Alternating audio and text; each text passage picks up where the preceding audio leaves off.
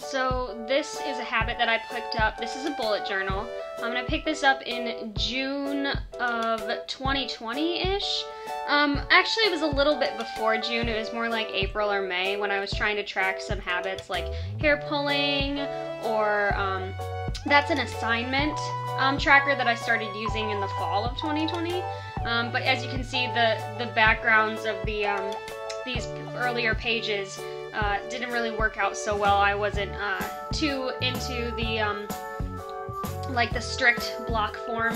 So when June hit, I was like, you know, I looked it up and I started researching it and it started getting really super interesting. So I was starting to be more artistic with it. Not gonna lie, I stole a lot of these from Pinterest. Just like flat out just copied it. um, but I freehanded all of it, so it's super fun. It takes me a while, but it's really relaxing, and it's just really nice to just sit down and kind of like draw and color a little bit, but also make something productive. Um, so I did things like a sleep tracker, book list, these are my weeklies.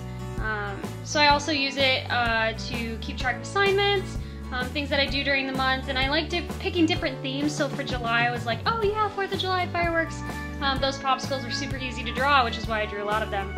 Um, and I like to stick to color themes, and I use a lot of the same uh, things, the same like uh, designs for each month because they're easy and they're not super complicated.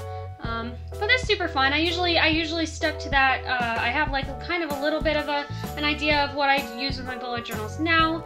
Um, but back then I was just kind of experimenting. I liked using the different things. Um, this was just some of my ideas. Uh, going through and and like learning how people use bullet journals and how I like to use it.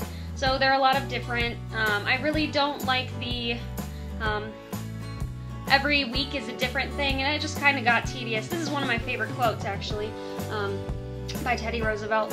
Uh, it's probably one of, if not my favorite quotes. Um, but yeah, I just used a lot of it. Um, I wasn't very good at keeping up with it, which is something that I want to change this year. Um, it's actually like I'm not using a planner or a calendar. This is what I'm using. Um, October was super fun. I did a Harry Potter theme, so I did Hogwarts on that first page, and here's the uh, uh, Ravenclaw stuff. And for all the weeks, I did a Ravenclaw theme as well. Some some months like this, it took me quite a while to do, which is why um, uh, when it when it got down to um, in the middle of school, you can see how. Uh, yeah. Also, pointing that out, I, I definitely um, messed some of the these up because I was copying things. Um, I wrote November without thinking and thought it was October. I started getting into using stickers and stuff too for Halloween because I don't really like Halloween, so using the stickers up was kind of nice. This was one of my favorite uh, title pages actually with the trees. Um, and November was just fun, so I used it for Thanksgiving. And this is this is school was happening, and I got overwhelmed, so my weeks got uh, very practical, but still that they had that design That I was proud of that. I came up with that practice tracker. Also, that's all my December assignments, and those gnomes were my favorite. Um, but yeah, no, I really like using it for an assignment tracker. It works out really well for me. Um, and again, you can see my weeklies were very, very spread out. Oh, uh, those are my Christmas presents, but uh, there's some birthday presents on there too. That practice tracker is actually legit because I uh, fought COVID during the time that I was filling that out. These are just some classroom notes that I took. Um, I use it mostly for um, keeping track of everything. But yeah, so this uh, this was super fun. I didn't use all of it, but that's because I got it in June. This is something my friend Lindsay did for me. She drew Friendship Garden and drew some flowers in the back of this one. Um, but yeah, that was 2020, and I was really excited about um, getting a brand new journal for 2021. Um, they didn't have black, which is okay. I kind of like brown. Brown and green is cool. Um, so this is my 2021 journal, and I um, really, really like, I just use the theme of stars and planets because I really, really, really like it. So there's my goals, there's like my, my finances and, and my um, my, my book list that I want to do. In January, I've had the, the Wonder Pets theme song. Oh, okay, note on this 2020. I made this in 2020, which is why it says 2020. So I um, used a giant red marker and didn't even try to fix it correctly because it was 2020. Now it's 2021.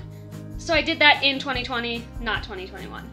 Uh, but yeah, there's my habit tracker. Uh, so I have the Wonder Pets theme song stuck in my head, and I've had it. You know, it's a baby penguin stuck on an iceberg, and it's it's my favorite thing ever. So I decided to do um, baby penguins, and there was actually um, some ideas that I got off of Pinterest, and um, yeah. So this is just something super fun that I really like doing. Uh, it's actually uh, really relaxing for me to try to do. Again, my friend Lindsay wrote in the back of my book, uh, which is amazing, and she's so cool. um, but it's just super encouraging, and they're really pretty, and I like uh, going back and looking at it every once in a while. Um, but yeah, it's super fun. It's a really good habit, and I um, I really like that. That's uh, that's my Old Testament journey Bible reading plan, which I will uh, I'm I'm kind of behind in right now, but it'll it'll be okay. I'll get there.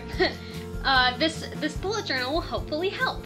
But yeah, so that's the that's the um, one thing I started in 2020 that I want to continue. Um, I really enjoy doing it. it. It's a super efficient outlook for me for my creativity.